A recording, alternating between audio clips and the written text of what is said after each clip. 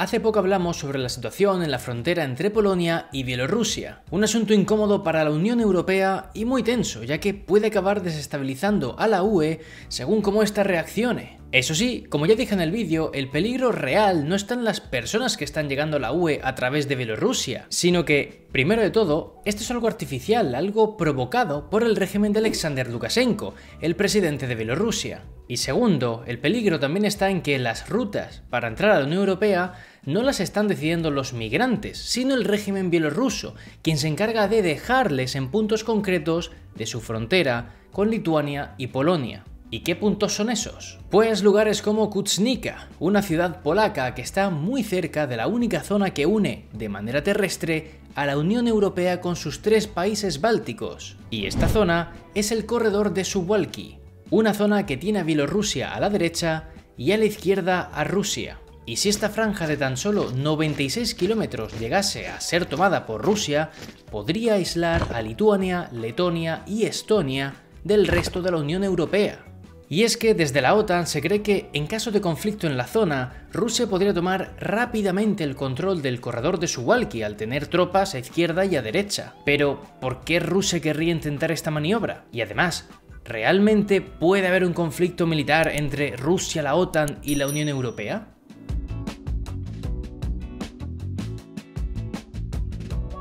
Para responder a estas preguntas, antes debemos tener claro el mapa de Europa, porque esto es un asunto que va sobre geoestrategia. Por tanto, si echamos un vistazo al mapa, veréis que tenemos a Estonia, Letonia y Lituania, tres países de la UE que conectan por el corredor de Suwalki con Polonia, también país de la UE. A su derecha queda Bielorrusia y a la izquierda Kaliningrado, es decir, Rusia. Sí, este territorio es un enclave ruso entre el mar Báltico, Lituania y Polonia, y Kaliningrado es una de las zonas más militarizadas de toda Rusia. ¿Y por qué tiene Rusia este territorio bajo su dominio? Pues tenemos que remontarnos a mitad del siglo pasado, cuando el actual Kaliningrado pertenecía a Prusia Oriental.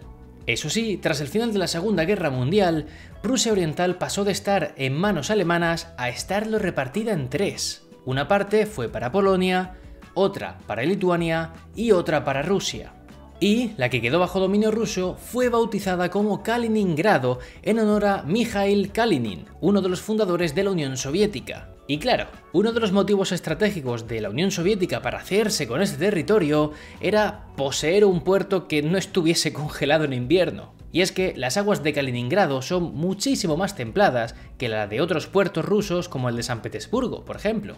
Y esto es lo que explica que la flota de la Armada rusa esté en Kaliningrado y no en San Petersburgo. Pero, ojo cuidado, porque tener en Kaliningrado esta flota le daba también a la Unión Soviética más peso geopolítico en Europa. Ahora bien, siendo realistas, esto tuvo muy poca importancia en aquella época, ya que Lituania y Bielorrusia eran repúblicas de la URSS y Polonia estaba bajo la influencia soviética. Sin embargo, en 2004 el contexto de la zona cambió radicalmente. A partir de aquel año, Lituania, Letonia, Estonia y Polonia, entre otros países, entraron en la Unión Europea, convirtiéndose el corredor de Suwalki en el único punto terrestre que conecta los tres países bálticos con la Unión Europea a través de Polonia.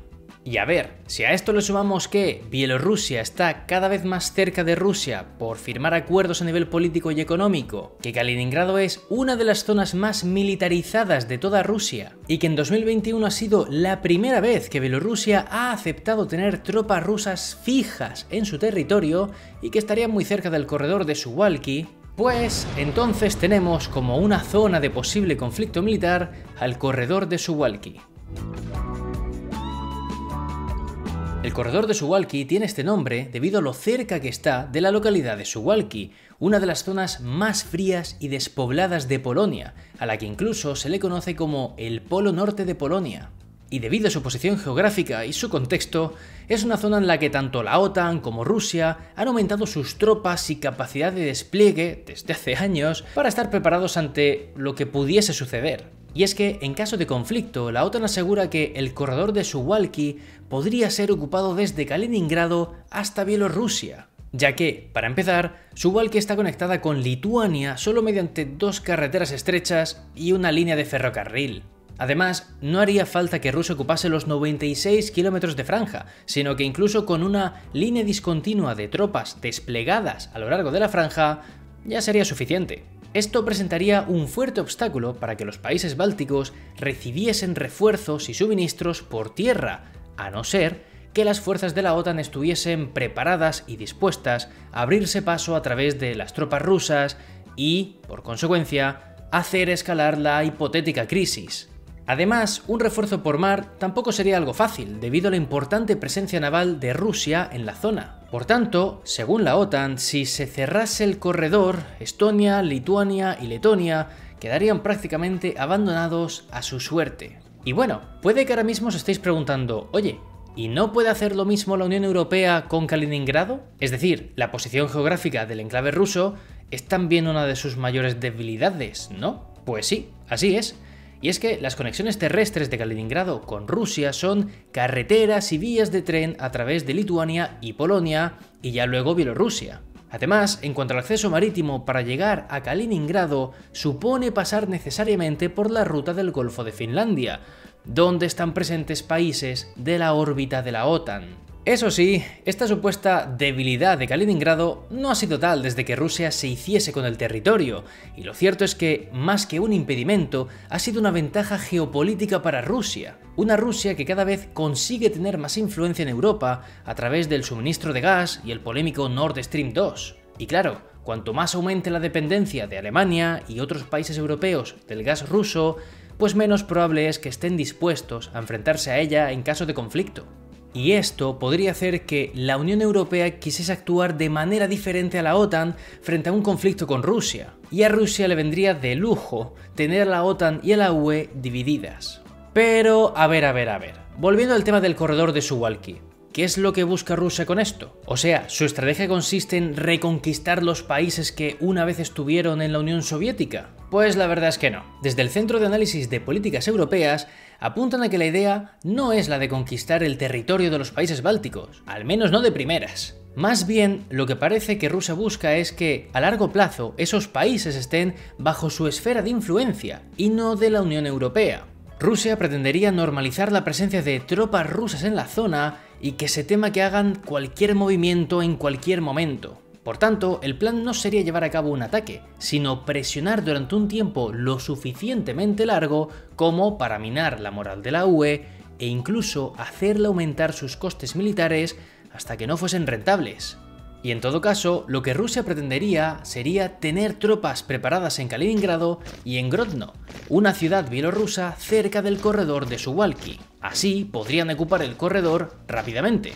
Y la manera de justificar las tropas rusas en Bielorrusia es mediante una inestabilidad en la frontera con Lituania y Polonia.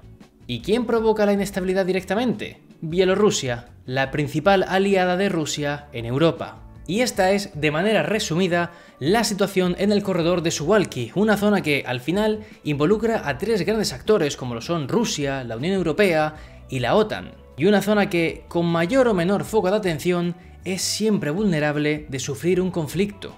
Espero que este vídeo os haya ayudado a entender un poquito mejor los intereses de Bielorrusia y Rusia en crear inestabilidades en la frontera con Polonia y Lituania. Y ojo que me veo venir los comentarios. Esto no quiere decir que la Unión Europea y la OTAN sean mano de santo siempre, pero esta es la situación concretamente en Suwalki. Espero que os haya gustado el vídeo, si es así, dejad un like, suscribiros al canal, que es para seguir apoyándolo. También podéis haceros miembros del canal si queréis decir el tema de futuros vídeos que subo aquí a YouTube. Y ya por mí suficiente por hoy, y nos vemos en el próximo vídeo.